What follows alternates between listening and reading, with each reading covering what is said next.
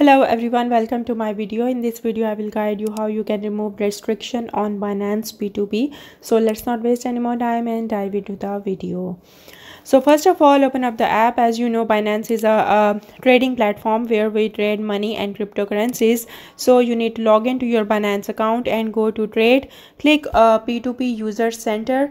Go to the restriction removal center tab to see your ongoing suspension. If there is no suspension it will show no restriction and if it is restricted the system will show suspended functions reasons specific case id effective suspension time status. If there is your case then you need to contact binance support.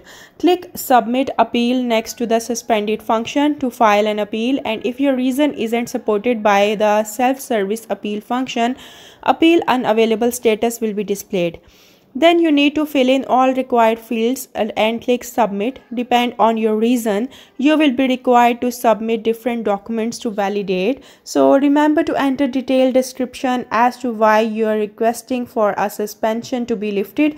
After this, please wait patiently. Binance will review your application within 2 hours and you will be notified of the result via SMS and email.